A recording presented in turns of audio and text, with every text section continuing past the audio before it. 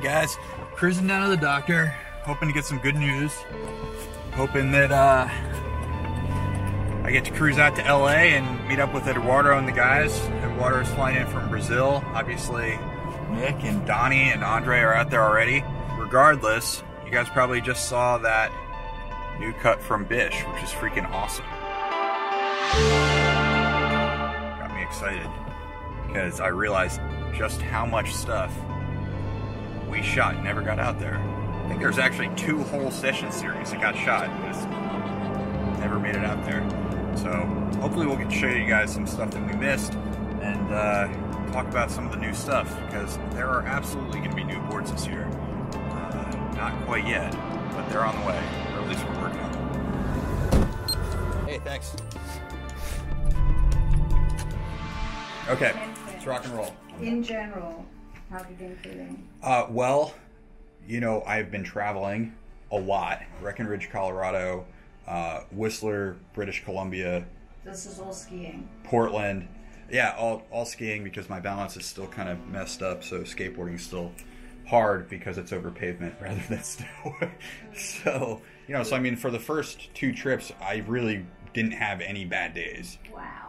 Yeah. I mean, this is completely different. Oh, it's pretty good, right? It's not all good. I'll get to that.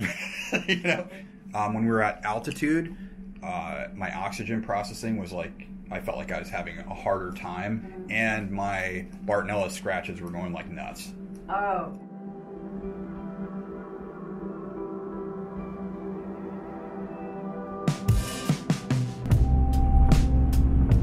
I mean, I guess at some point I sort of expected it, but uh, I mean, I guess my health does go up and down, but even just how I'm feeling about it changes. And it gets harder when you sort of like miss stuff like that, uh, particularly when guys like Eduardo are sort of laying it all on the line um, and backing up my project, our project.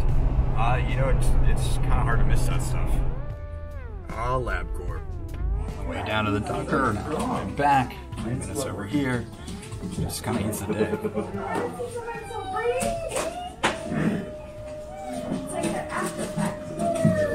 Not that much.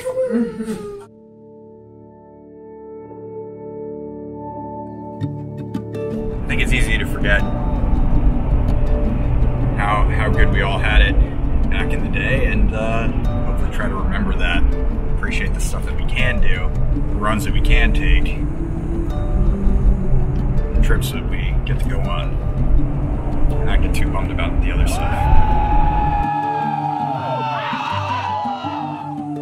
Looking forward to more skateboarding, less BS about Lyme disease. So appreciate you guys watching, appreciate your support, and uh, yeah, catch you guys soon.